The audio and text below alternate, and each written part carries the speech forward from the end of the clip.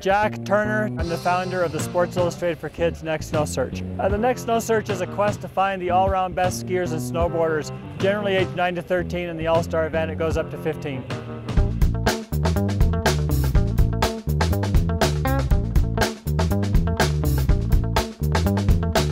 The athletes enter every single competition, from racing to moguls to big air.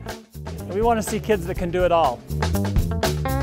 I'm Tucker Perkins. Uh, I'm at Keystone, Colorado for the Next Snow All-Stars event. To be part of this event, it's just awesome. You're gonna meet tons of new people, new ski resorts. You get to ride different courses. It's so fun with all the kids. You're, you're going against kids your age, like eight-year-olds out here, just flying off this big air jump, having fun. You see the whole crowd going wild and you're loving it, so it stokes you up for the competition.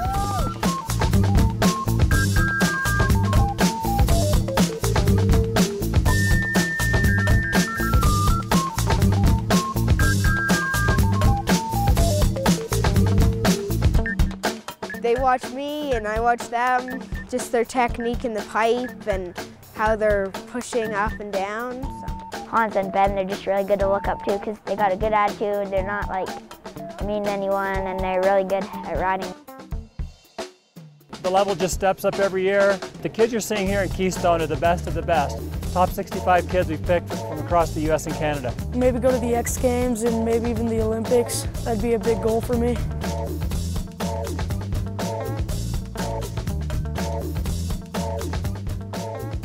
Life is not about sitting on a couch and living in the virtual world of television and computers. You don't need to look to a rock star uh, pro athlete for a role model. You can live the dream yourself, and these kids are showing them that.